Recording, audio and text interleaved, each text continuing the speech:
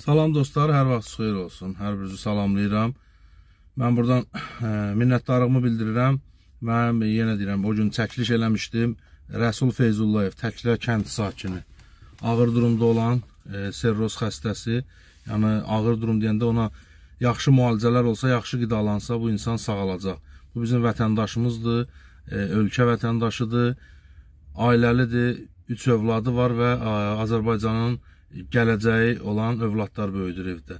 Mən buradan nəzərinizə çatdırmaq istəyirəm ki, e, paylaşımdan sonra bizim e, Rusiyadan, e, Moskva şəhərindən bizim dəyərli bir Kərbəlayı qardaşımız 33 manat o göndərib, e, rayonun adını çəkilməyini istəməyən daha bir qardaşımız 5 manat o verib. Yəni birlik olsa bu qardaşımıza dərman da alarıq, ona ərzaq təminatda eləyərik ki, e, bu insan e, sağalsın, e, normal həyata qayıtsın.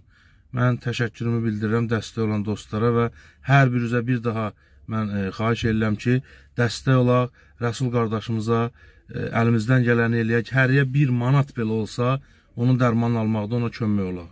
Onun da ailəsi var və buradan bir şey də qeyd etmək istəyirəm ki, Rəsulun evinə ay ərzində bir manat heç bir yerdən gəlir, gəlmir və e, ailədə özü də yoldaşı da xəstədir, səhətləri ağırdır.